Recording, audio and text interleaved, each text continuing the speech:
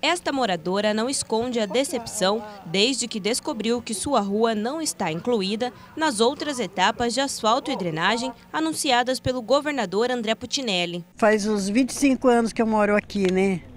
Então a gente veio para cá pensando que aqui ia asfaltar primeiro do que a, a Vila Popular. Asfaltou lá, né? E agora a gente está sofrendo por causa dessa poeira. Quando chove, a água que vem do asfalto corre tudo na frente da minha casa. Fica um lamaçal. Na esquina onde mora, esta dona de casa mostra as condições da rua e fala das dificuldades cotidianas que sofre na região. Qualquer chuvinha, uma garoa que der assim já alaga. Aqui na casa do meu cunhado mesmo, ela alagou.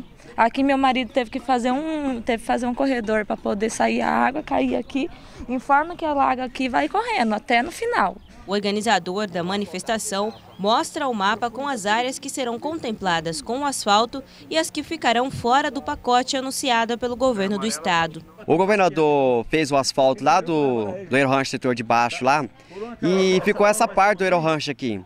Só que nós estamos sofrendo há 20 e poucos anos aqui, quando chove, aqui é crítico, essas ruas você não anda. Agora nós queremos uma resposta do governador, por que, que o Jardim Rancho todo não vai ser asfaltado? Inconformado com a notícia, este funcionário público que mora na rua Coimbra lamenta as promessas feitas por políticos e questiona o fato do asfalto não ser feito em todo o bairro Rancho. A gente está revoltado. Hoje mesmo eu fiquei com a carriola lá, a manhã toda tampando buraco frente da minha rua. Eu pago R$ 1.200 de IPTU e pago mais de R$ 1.300 de E asfalta os bairros mais novos, esquece esse bairro. Chega